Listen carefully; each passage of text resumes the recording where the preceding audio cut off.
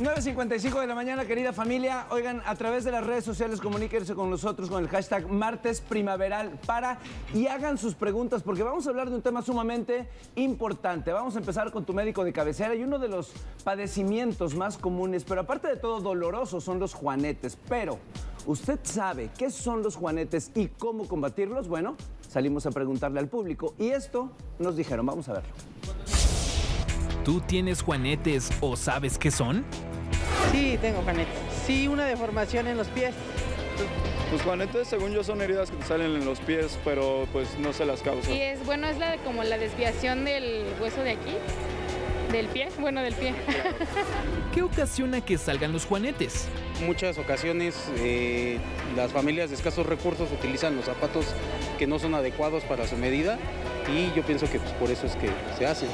el mal uso del calzado o, o el, que tengan humedad, algo así. Yo tengo entendido que es por la fricción de los zapatos, o sea, no, no es por quitártelos, sino por a veces la mal postura que tienes al caminar o porque tu zapato no es el adecuado o el calzado que usas no es el adecuado. ¿Sabes cómo combatir los juanetes?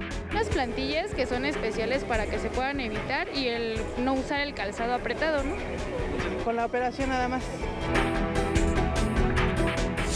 Bueno, sí tenemos una ligera idea de qué son, pero para platicarnos más sobre este tema nos acompaña el ortopedista Rubén Lechuga. Gracias por acompañarnos, doctor. Hola, muchas gracias. Buenos días. Buen día. ¿Sí estamos bien o no? Todo tranquilo. Todo tranquilo, Yo creo que idea. más o menos tenemos una pequeña idea, lo más general, pero hay ciertas peculiaridades que vamos a tratar ahorita con ustedes. Tenemos aquí, aquí, que nos expliques. Bueno, primero que nada, el juanete, o también llamado alux valgus, es una deformidad del pie que afecta principalmente la base del dedo gordo. Esta articulación que conocemos en la medicina como metatarso-falángica comienza a desviarse tirando la punta del dedo hacia la región externa del pie y creando una protuberancia en la parte más medial.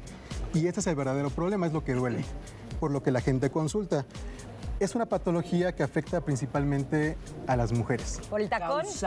Tiene mucho que ver el calzado. Te La zapatilla, este zapato Por eso no angosto, uso zapatillas estas. este zapato angosto que tiene los dedos ahí conglomerados, favorece esta presentación de la enfermedad. No digo que todos o todas las pacientes que ocupen zapatillas van a presentar juanete, pero sí predispone bastante.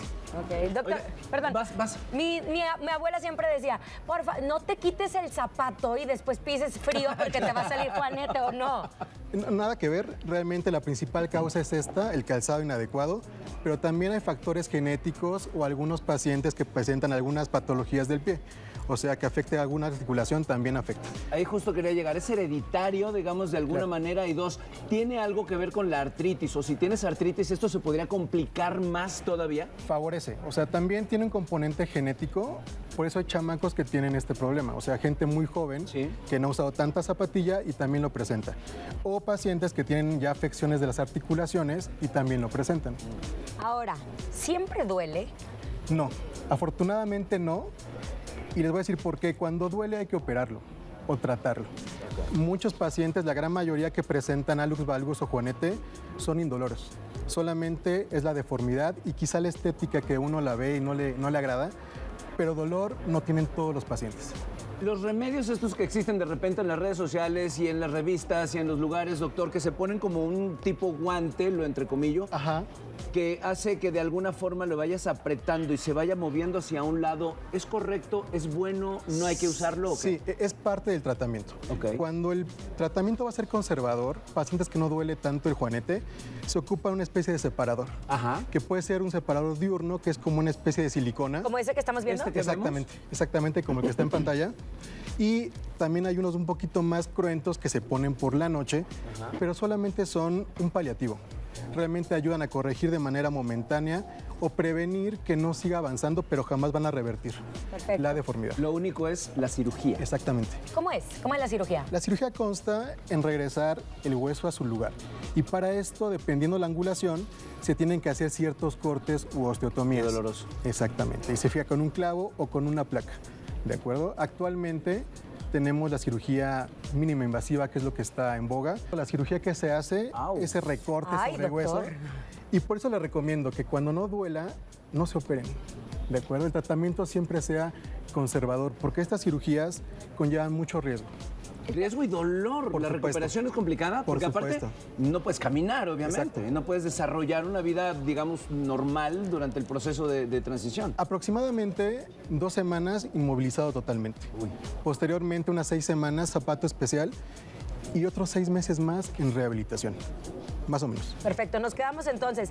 Si no duele, no hay que operarse. Punto. Exactamente, Vayan con un exactamente. ortopedista para que puedan valorar. Si duele, hay que ir Claro. con ustedes para justo revisar a ver si. siempre acudir con un experto para que nos puedan mencionar el correcto uso del inmovilizador o el separador que nos vayan a, a otorgar. Hay gente que se pone monedas, se pone plástico, se No pone infinidad de cosas y terminan lastimándose más. Ay, aprendí algo, entonces el mío es callo, no es Ese no es. Juanete. El mío, el mío sí es, luego les enseño. Anda, ¿Pero no te duele? No me duele, nunca Ah, me ha dolido. se Siempre he se estado ahí, nunca lo he tocado. Doctor, Ay, que se muchísimas gracias. Muchas gracias, a ustedes, que estén muy bien. Un placer. Si ustedes están en casa y no eh, saben qué hacer en este es muy sencillo. Acudan a un especialista. Nosotros continuamos con mucho, mucho más aquí en Venga la Alegría.